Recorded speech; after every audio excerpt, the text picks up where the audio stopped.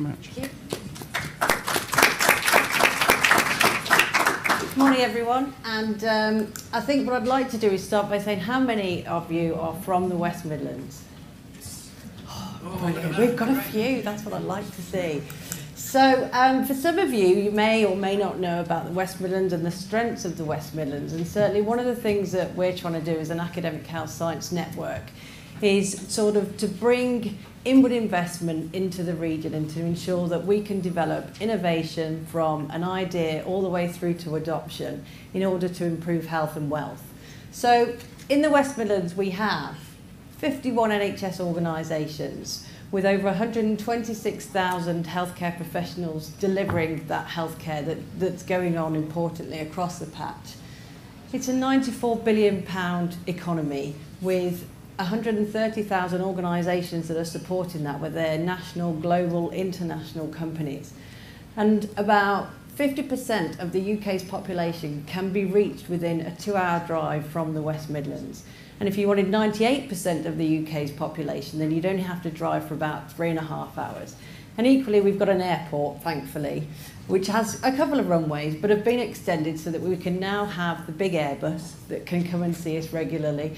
Um, but it also reaches across to Asia, um, east and west coast of the US, etc. And so it's about, we are centrally the best place to organise yourself and to place your business. And I'm, I am here to promote the West Midlands because I am from the West Midlands. So I fully believe in it. We also have 13 higher education institutions and the second largest uh, medical school based there. And we have the largest number of clinical trials that go on across the country.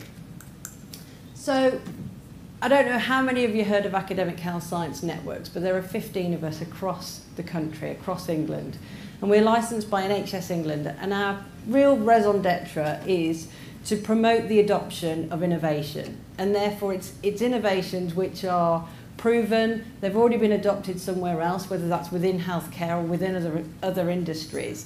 And it's about ensuring that what we can do is allow patients, the public, and the population of the West Midlands to benefit from those innovations. And again, we focus on a health and wealth.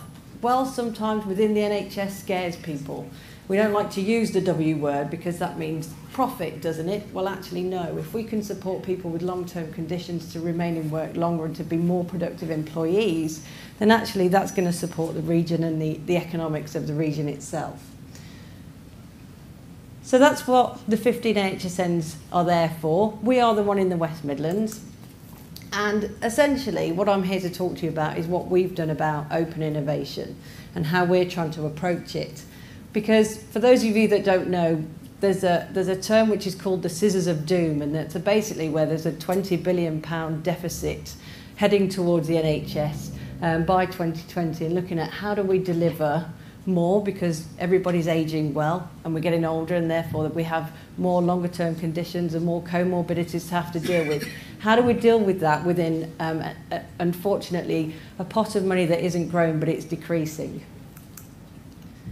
So we decided that our approach was going to be looking at how we get the adoption of innovations sped up essentially. We need to build our awareness of what's out there and we need to sort of build a culture of innovation and it's been really interesting listening to the speeches this morning about how within global organisations you develop um, a culture of innovation. Well actually our challenge is how do we deliver that for 18 acute trusts, for 22 clinical commissioning groups, for 10 community and mental health providers, for all of these GP surgeries and local community pharmacies, how do we get them all involved in innovation and also looking at how they can work more collaboratively together?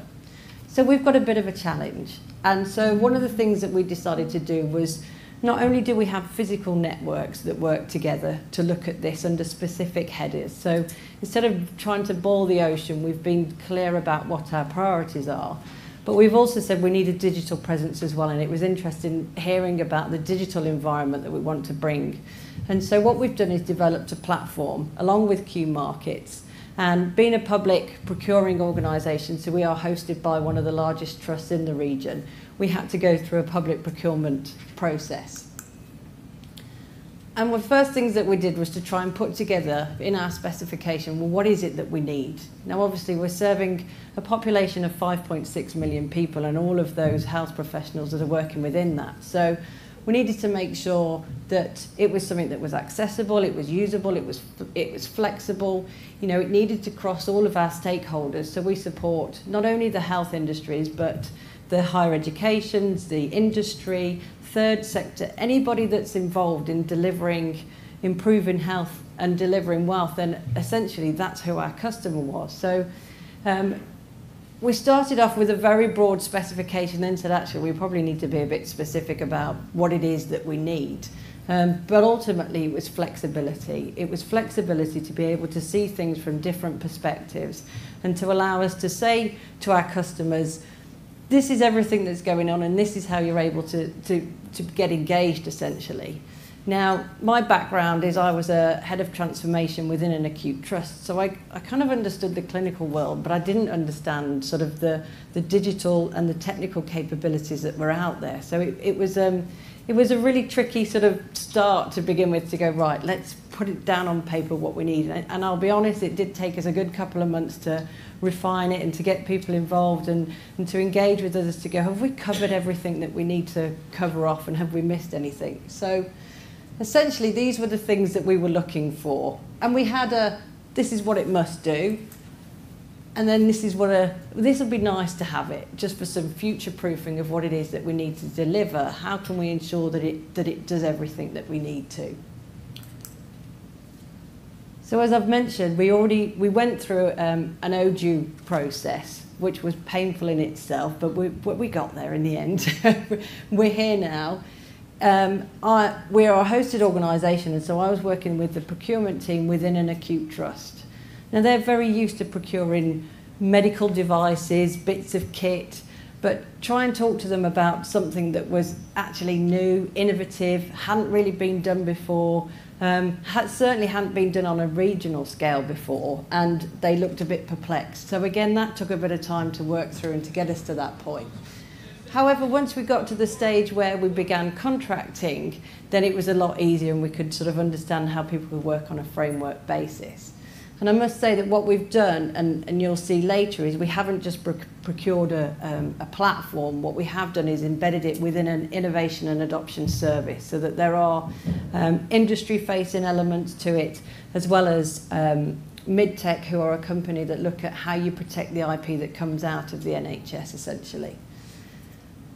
So when we decided to get going, obviously we engaged with the multiple stakeholders and we had an advisory group that had essentially, hopefully, advise us on the right way to go forward, but from each of our key stakeholders groups. So we had SMEs, um, industry, large pharma, and medtech industry um, present, presented at the, um, at the advisory group, along with healthcare, innovation leads, um, research and development leads as well, because I think it's interesting how R&D and innovation do mix in that, you know, you've got some that are very commercially aware of how to get trials into the system, but then not necessarily aware of how to innovate from that.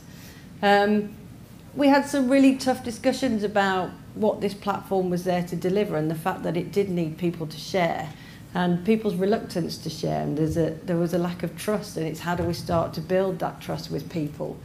And again, we've come from a very competitive background, and so we need to start moving towards a position of collaboration and how that can be the way forward rather than saying everything must go to this tertiary acute centre rather than actually there's an element where everybody can work together and benefit from this. So finally, we were able to develop Meridian, which is what we've called our Health Innovation Exchange um, working with Qmarkets along with um, GE Finamore and Pilot Light Ventures that helped us to essentially design the full process from, from end to end. And what I wanted to do was share some detail of what is live now. So we launched on the 1st of March. So again, it's in its infancy. So you talk about where we are in our journey. And, and we're really the start of this journey and understanding how we can grow this capability and capacity um, to collaborate with others and to bring people from different sectors in to identify what some of the challenges are that we're facing as a healthcare system. And I think that's been one of the things that um, has been sort of over the past couple of years that we've been established, before we'd go out and we'd try to push innovation out there. So we'd be aware of everything that was going on and then we'd go to our colleagues in the health economy and say, what do you think of these innovations? And it wasn't landing. So we decided to do sort of a, a 180 really and turn it on its head and start saying, okay, let's, let's ignore what all these innovations are coming in, not necessarily ignore, but let's find what your pain points are, what are your needs, what are the issues that you're facing. And so the sort of the, the campaigns or the challenges, which is language that's really quite, um, people within the creative sectors are quite au fait with what a challenge or a campaign is, but within the health sector, they've found this, again, a whole new language that we've got to try and talk to them about. But also, it's a language that we need to get across all of the sectors so that they can start to say, okay, let's unpick what some of your challenges are because then we know that there's a whole wealth of information, of industry out there that can come in and support and co-create almost with you if there isn't a solution that's already out there. A lot of the time we've found that the innovation is out there and what they can do is just submit their innovation against the campaigns that we're putting. And then it's about us trying to crowdsource, okay, that's great. Um, and you can see this is, again, the detail that you can put behind the innovation pull campaigns to go, this is what we're looking for and this is what we need. And then there's an innovator himself putting forward his submission. And again, what we can do is we can start to say, okay, well, I can tag it. I can tag it against our themes and priorities so I can make sure that, again, the relevance, and I know from Talis it talked about the stage gates that we went through. So we've been able to, to put some very clear gates in here about, okay, um, the innovator knows where he's at in the process as well. As a, as a small core team, what we found that we were dealing with a lot of people that had innovations and we're going, how am I getting on? Where am I going? You know, is there any interest? At least with this, they can see where their innovation is through the process. Um, and then they're able to put in descriptions, detail, further detail, and they can upload relevant market research that they've done. They can upload case studies. They can even upload videos. So again, it's about instead of having to clog up somebody's inbox, because we all know that we're sinking with emails, it allows you to go to one place to access all of the information and to download it in your own time and to think about, okay, how might that be relevant to us? The other thing that's useful and this is Sally, who's um, the commercial director for a local SME in, in the West Midlands, is if she's got something of interest and I'm looking at that and I want to follow the submission and what she's been doing, then I can literally click on the star and it will give me regular updates to suit me. So it can be hourly, it can be daily, it can be weekly, or it can be monthly so that you can stay on top of, okay, what discussions have happened around that? Has anybody taken it on board and adopted it? Or actually I want to email that to one of my colleagues and it will email the whole submission then to somebody else in the link. Um, I can PDF it, so if it was something that somebody prefers a paper copy, I can at least print it for them. Or I can contact the author myself and have a chat with her directly. And I think that's the other thing, it's about making some of these people accessible. Um, and having a photo gives them a face so that you're not going, well, I don't know who that is that's contacted me, so I'm going to ignore their email. They start to have a presence and it, it seems a lot more personal than it has been before. So this is where on, on the main homepage you can see the innovations that have recently been submitted and this is about how we start to generate that conversation, where we start people to see that there are opportunities to work with other types of companies and to see what activity is going on across the patch. Sometimes it's just about igniting a conversation with somebody to go, do you know what? I hadn't even thought of that before. And even the lighting, I've realised I'm a bit of a geek now because we'd had conversations with a hospital where they'd spent £3 million in implementing RFID. Well, actually, how much would the lighting cost to replace that in order to deliver the same benefits that they're seeing, the same outcomes? And it starts to go, this is how we trigger the conversations. That's what we need, is that cross-collaboration. So now I want a conversation with the lightning man, who isn't boring, because I can see how that can deliver real patient deliverable outcomes. Because if you know where a patient is, you can then manage the flow, and patient flow within a hospital is one of the biggest challenges that we're all facing from A&E through to discharge. So if there's a way of mapping that, then I think you're going to be my man. Um, so again, this is just highlights the kind of discussions that we can have and it, it's all real time and we're really excited by the, the, the interest that this can give us and, you know, the, the power of these conversations that before I was instigating meetings you know, and it's like, I don't need to do that anymore. They can just get on with it themselves and, you know, relinquish that control. You know, as, as a network, we are there to facilitate these conversations. And I think the biggest challenge that we've had to go overcome is to give people within the healthcare profession the permission to just get on with it. And I think it, it's so sad that we have to stand in front of them and go, yep, you've got permission to be innovative we don't need to do that anymore. You know, we can put it on there, put it out there, and they can go, well, I can, I can respond to that challenge. I know what I could do. Um, and so it is there for everybody. And again, we've got an opportunity to share stories where it's worked, they've had it adopted. You know, we want the hospitals within the region and, and the GP surgeries to promote what they're really good at. And I think it was interesting, somebody said earlier on, what do we mean by innovation? And for us, it's anything that's delivering a better outcome than what you're doing today. And it's how we can get people to overcome the, I don't really know what innovation is, and get them to just be involved, basically. So again, we've put some gamification in there because we liked it and we thought it would get them back to the site. Um, and we're going to get their face up there. So we've got our first award ceremony in June. And how would we have gathered that information before? I have no idea, but now we can do that. And again, this is me talking to an orthopedic surgeon about how he can get involved and, and, you know, he's starting to get excited because before he was limited as to the audience he could take his innovations to. So this is a service that we've delivered. As I've said, it's not just a platform, it's a service as well, and there's people that sit behind it. And one of the biggest things that we can put on the platform is news. So one of the things that excites um, our university colleagues is what grants are out there? How can I find funding that will support my research? And actually, um, we've got a lovely lady who does a really funny email out every Friday to talk about what funding opportunities there are. And we can just literally shift and lift everything that she's got on there. We can talk about our awards. We can talk about the new companies that have come to the region and, and are we aware of what capabilities they have. The other thing that we've embedded is a SharpCloud tool that looks at how do we make an interactive tool for downloading um, our adoption journey. So practical tools, advice, this is the um, adoption process. This is where we can give you support around having um, an adoption proposition template, all of it again embedded from the site, as you can see. And essentially, it's about creating that virtuous circle. So, how do we get more people to and from the site in order to build that collaboration and that um, conversation, basically? Um, we're early doors, but that's, that's our end goal. And in order to create these outcomes, and I think that's the bit that we're really passionate about, is we want to see deliverables out of this. This isn't a nice to have. This is, we need this in order to deliver better healthcare for tomorrow. And we've already mentioned ROI. Well, I've got a different one, and this is my return on involvement because until people get involved, you're not going to get any return. And so I've, I've stolen this with pride because I think that's what we need to be doing now moving forwards.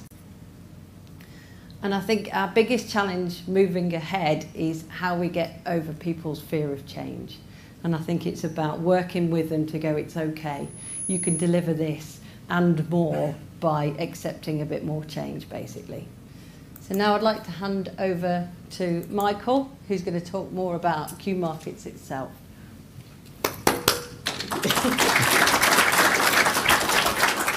Thank you, Lucy. Um, we're, just let me say I'm incredibly proud and uh, thankful for being aligned to uh, what Lucy and her team are doing so wonderfully. Um, I uh, will only take uh, two, three minutes uh, uh, to give you the chance maybe to also have some uh, questions for Lucy. So um, when it comes to open innovation, the mindset of many people is like this. Um, and when you look at a, a, possible open innovation project, you will uh, realize that this is something um, uh, very true. Um, and uh, I personally have made up my mind uh, about innovation. Uh, I found my best innovation already here. You can see that um, I challenge anyone to uh, to top that innovation. Um, but uh, talking more about you know, uh, uh, open innovation, I want to give you five top scares and five best practices very quickly. Um, as you know, we're a software vendor. The the bad part of that is that we want to come and sell you software licenses. The good part is we get a high level overview of so many organizations, what they do and what they struggle with in, in, in open innovation. Um, the one, uh, so, so talking to over 200 customers implementing their innovation systems, the top five scares are um, damage the uh, to, to their brand, um, creating a complaint box rather than an open innovation site. How, how, you know, uh, how do you manage that you actually get and receive ideas and how you, th- that you receive um, positive uh, uh, input rather than uh, people complaining, okay? Uh, the number three is um, many are afraid, especially in the B2B, that customers are synchronizing um, and starting to compare pricing starting to compare uh, service levels. So that's, uh, that's a really big scare. Um, less so in B2C, very a lot in B, uh, B2B. Um, then anything of uh, legal matters reg regarding the IP. What, what, you know, let's not get into any IP mess. Um, let's avoid uh, any any problems when we actually get a good idea. Uh, and then number five is lack of uh, participation. Uh, you know, we were just uh, mentioning the return of involvement again.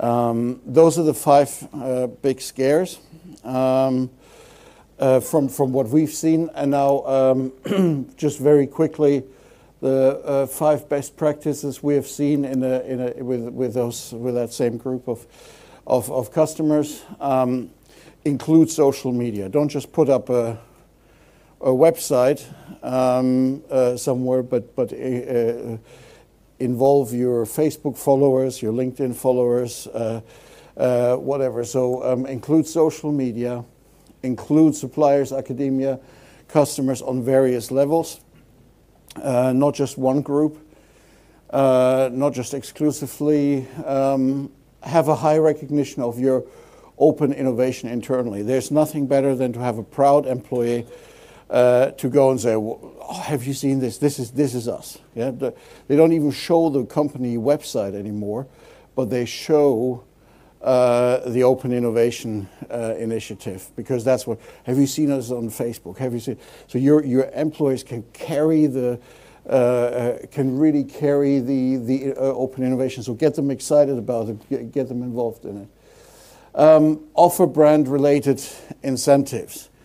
What this means, if you are a business that sells chocolates, don't offer airplane tickets. So, so uh, uh, do something they can relate to your uh, brand. Offer incentives. We all know incentives, reward recognition is incredibly important for participation.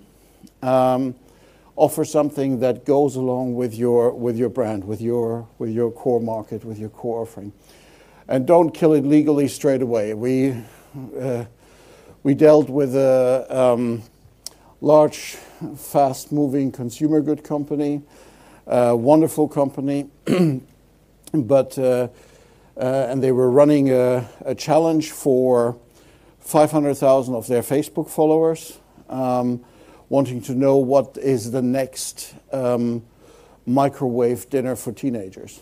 And um, uh, what they did is before they even welcomed anyone to the site, before they even uh, had anyone be able to submit an idea, they put a legal disclaimer there, and you had to accept. You, had to basically sign your life away, your your future, your children, your grandchildren, everything, and and that um, stopped it. They had 500,000 people involved and four ideas. Uh, and the reason for that was uh, everybody we talked to afterwards, because we were obviously in shock ourselves, there was uh, such a low outcome, was um, the legal disclaimer, which then was changed, and after that, this uh, became a great success. um, just two, three words on Qmarkets. Uh, we have a whole suite of products uh, from open innovation and anything around uh, innovation, live innovation, uh, real-time innovation workshops, um, hackathons, ideas management systems, um, which we are, would be very happy to talk to you about. Uh, we have a global footprint and um, seen as a market leader um, and have some wonderful customers. If you come to the Qmarket stand in the back, we'd love to talk to you more about these best practices or, of course, of our software. Let me show you this video. You've probably seen this.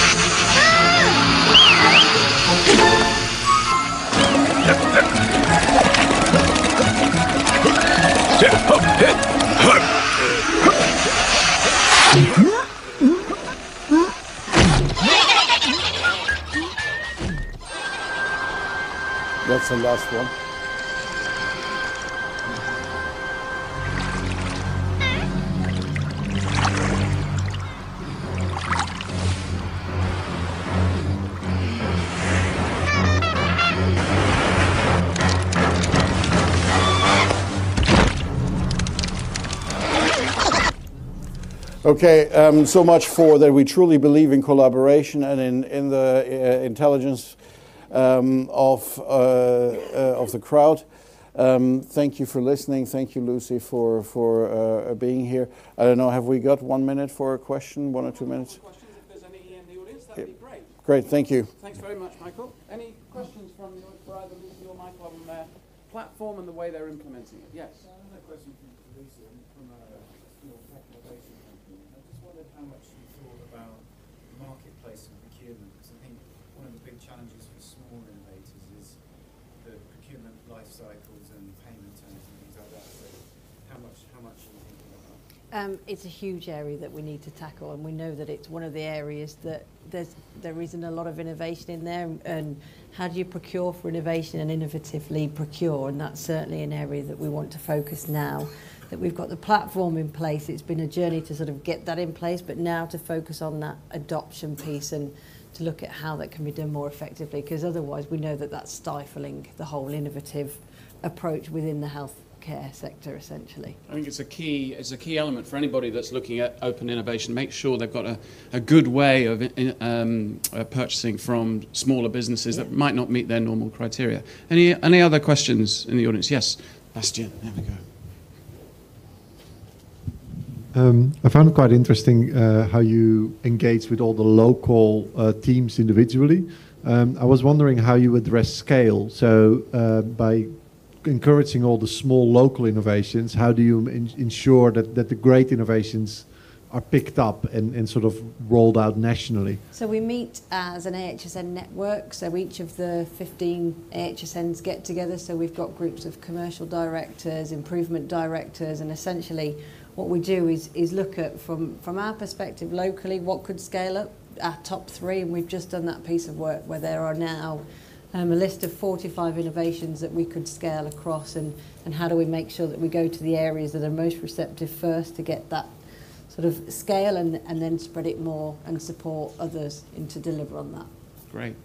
Um, there's a we're going to have an open Q and A a bit later. Lucy, are you around later on today? I'm not Involved. Oh, that's a shame. Well, Michael, are you Yes. perhaps? So what we might be able to do is is ha- have you back and answer a few more questions later on in the afternoon, if that's all right with you. Um, but in the meantime.